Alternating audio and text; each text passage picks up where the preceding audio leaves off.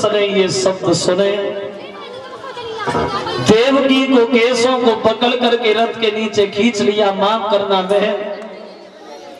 ये तो दुनिया भर के लोग जानते हैं कि बिना मतलब के कोई पाप नहीं होता।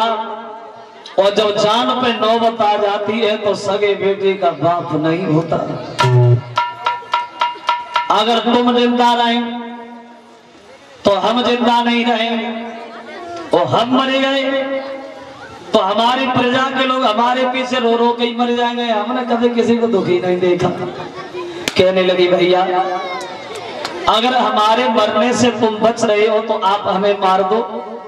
कंस ने जैसे ही देवकी को मारना चाहा तो बसदेव जो है वो बीच में खड़े हो गए। कंस से न मारो। और बोले वो बसदेव कि कंसी को न मार। और तेरी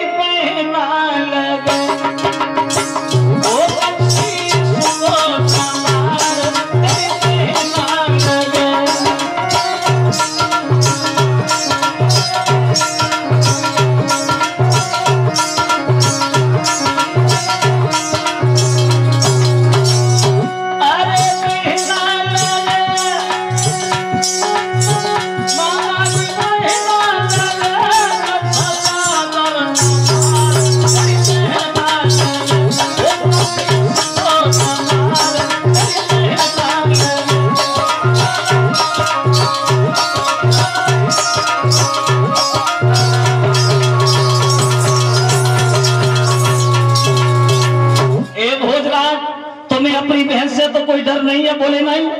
इसकी संतान से डरे हाँ तो एक बात सुनो कंस, जब तक तुम्हारी बहन के आठ बालक नहीं हो जाते हैं, हम बटेश्वर में जाएँगे ही नहीं। लड़का पैदा होगा, तुम्हारे पास लाएँगे, मारना छोड़ना, ये तुम्हारे ऊपर है। दोनों को हथकड़ी, बेड़ियाँ डाली, उन्हें भी जेल में डाल दिया, तुम भी आराम करो, तुम्हें भी आराम की ज़रूरत है। अब जेल में बसदेव देव अब समय व्यतीत होने लगा।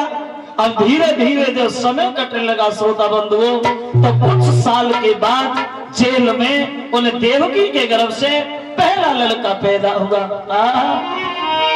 ऐसा ही नहीं, देवकी के गर्भ से अब जगमग जगमग